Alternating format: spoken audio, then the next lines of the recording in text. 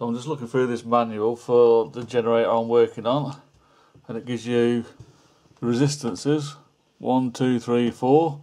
Of your stator, auxiliary, battery charger, I don't think mine's got that, condenser circuit.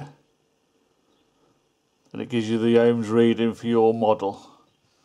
Mine's LBL so I'll just notice this one here, rotor 5.3 now I've never tested a rotor before on a brushless motor, a brushless generator. So if you look here, tells you R4, measure across the diode, and you should get 5.3 ohms.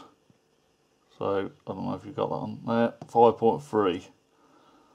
So I'm going to go over to the rotor now and try it. Okay, so that is the diode there. So I'm going to test between one end and the other and see what reading we get. It's going to be hard to get a measurement on it, but I'll see if it works.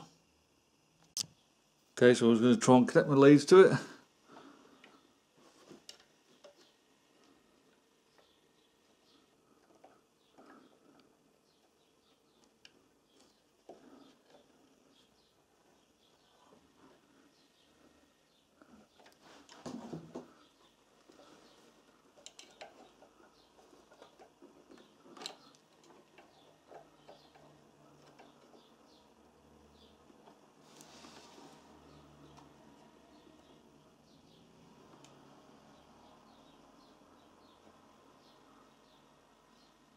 So 4.3, dead on. Okay, brilliant. So I didn't know you could do that yourself myself. So just shows you, look through your manual and to give you all the information you need.